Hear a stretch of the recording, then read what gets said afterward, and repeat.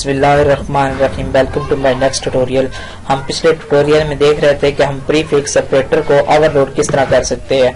आज हम देखेंगे कि हमने overloading as a postfix separator को हम किस तरह ओवरलोड कर सकते हैं? इसमें सिर्फ़ हमें क्या करना पड़ेगा? बिल्कुल जो हम बाकी काम कर रहे थे, बिल्कुल वही करना है। लेकिन इसमें सिंपली एक चीज़ का इजाफा होगा कि हमने इधर एक जो हमारे पास ऑपरेटर जो प्रेंथिस होंगी प्रेंथिस के अंदर हमने इंटीजर की इंटीजर की वर्ड लिखना है। इससे क्या होगा? ये हमारे पास पैरामीटर के तौर पर एक्ट नहीं करेगा। सिर्फ़ ये इंडिकेट कर रहा है कि ये हमारे पास पोस्ट फिक्स इंक्रीमेंट है। अगर यहाँ पे आप इंटीजर नहीं लिखोगे तो उसका मतलब ये हमारे पास प्री फिक्स है। अगर आप इधर इंटीजर लिख दोगे तो इसका मतलब है पोस्ट फिक्स बाकी आपने वही काम करना जो हम कर रहे थे कि आपने इंक्रीमेंट वगैरह क्या करना है। उसमें आपने क्या करना है कि सिर्फ़ ये चीज़ आपने जेर में रखनी है, ये जो इधर इंटीजर है, ये सिर्फ़ क्या कर रहा है, ये आपको इंडिकेट कर रहा है कि हमारे पास ये पोस्ट फिक्स ऑपरेटर है। बाकी इसका काम बिल्कुल वही है कि आपने क्लास बनानी है।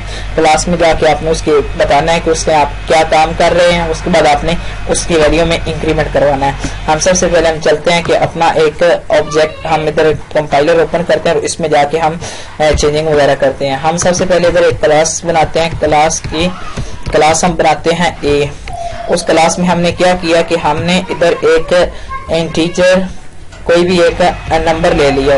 अब हमने क्या किया एक इधर पब्लिक पे जाके हमने एक मेथड फ़ंक्शन बनाया, जिसमें हमने क्या किया कि वाइड उसमें हम वैल्यू इनपुट करवाएँगे। या आप इसमें ये करो कि आप इधर हम इधर इसको जब कॉल करेंगे, उधर से एक पैरामीटर पास कर देंगे, और उसको हम ए कह देते हैं कि ये हमारे पास एक पैरामीटर हम उसमें पास करेंगे। उसके बाद फिर हम क्या करेंगे, हमारे पास एन की, जो हमारे पास पैरामीटर की वैल्यू आएगी, वो हम ग्लोबल वेरिएबल में जाके हम सेव कर देंगे।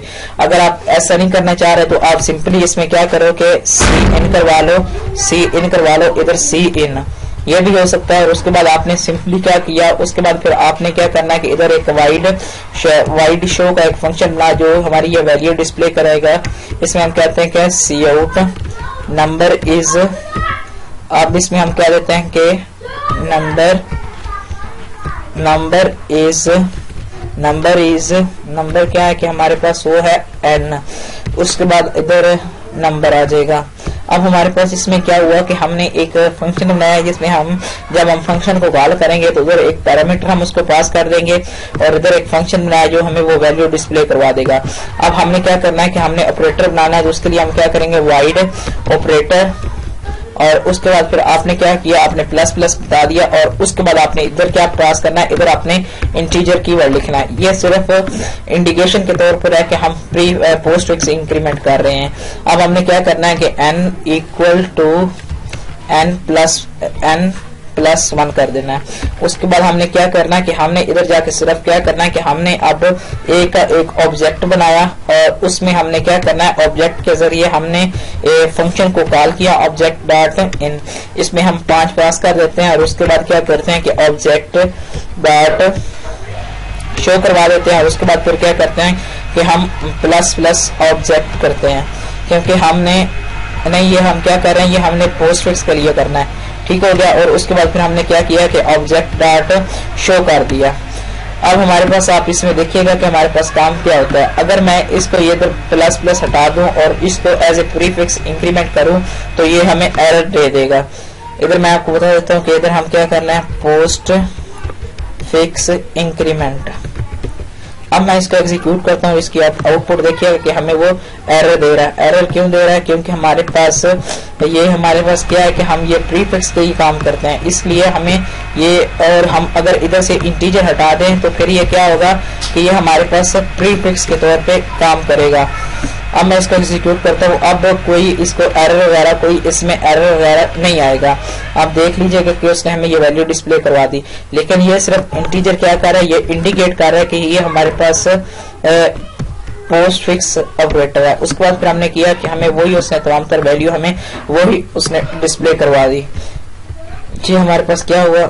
ये हमारे पास दोबारा आप इसको एग्जीक्यूट करते हैं इसकी आपको आउटपुट दिखाते हैं कि इसकी आउटपुट क्या आएगी।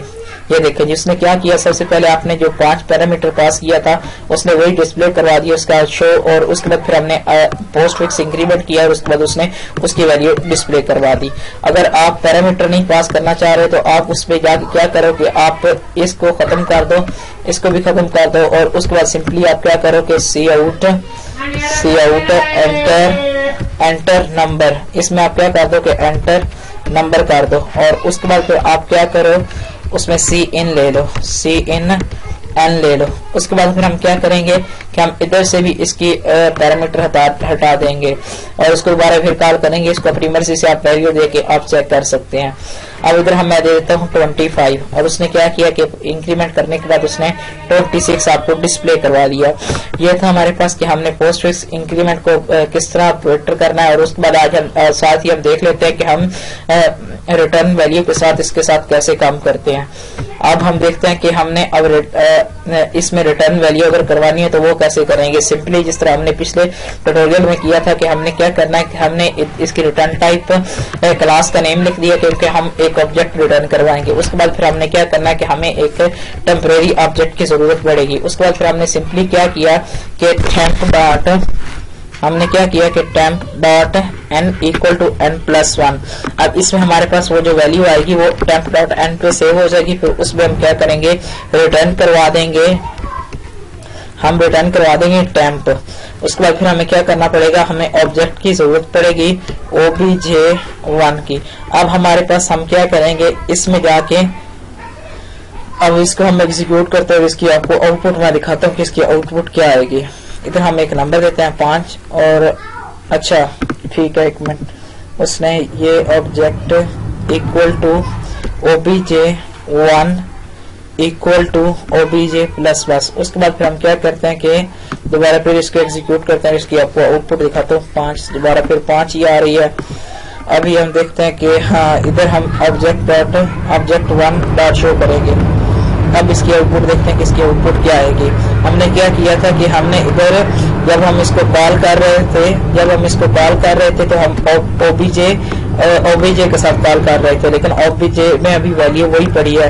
हमने क्या करना है कि हमें ओबीजे वन के साथ हमें वो कॉल करना है तो उसके बाद हमें वो वैल्यू हमें डिस्प्ले करवा देगा। हमने सिंपली क्या किया कि हमने क्लास का नेम लिखा और फिर ऑपरेटर की लिखा और उसके बाद प्लस प्लस हमारा जो हम कर रहे हैं यूनिटी ऑपरेटर को ओवरलोड कर रहे हैं, उसके बाद हमने ये इंडिकेट के तौर पे हम इस्तेमाल कर रहे हैं, उसके बाद हमने एक टेम्परेरी ऑब्जेक्ट बनाया, उसके बाद फिर हम क्या कर रहे हैं कि हम उसकी में वैल्यू जाके सेव करवा रहे हैं और उसके बाद उसको रिटर्न करवा रहे हैं। फिर हमने क्या किया कि हमने एक ऑब्जेक्ट एक और बनाया जिससे हम इसके रिटर्न वैल्यू करवा रहे हैं। जब ये ऑपरेटर ओवरलोड होगा तो उसमें इंक्रीमेंट होगा एक और वो वैल्यू उसके बाद इस ओबीजे वन को असाइन हो जाएगी। उसके बाद फिर हमने क्या किया? ओबीजे वन डॉट शो कर दिया। ये तो हमारे पास पोस्ट फिक्स को हम किस तरह ऑपरेट कर सकते हैं ओवरलोड हम अपने नेक्स्ट ट्यूटोरियल में देखेंगे कि हम बाइंड्री ऑपरेटर को ओवरलोड कर कैसे कर सकते हैं। अगर आपको मेरी ये वीडियो पसंद आई है तो आप इसको लाइक कीजिए, दोस्तों के साथ शेयर कीजिए, और मेरे चैनल को सब्सक्राइब करना ना भूलिएगा, ताकि आपको लेटेस्ट अपडेट के बारे में पता चलता रहे। शुक्रिया, अल्लाह हाफिज।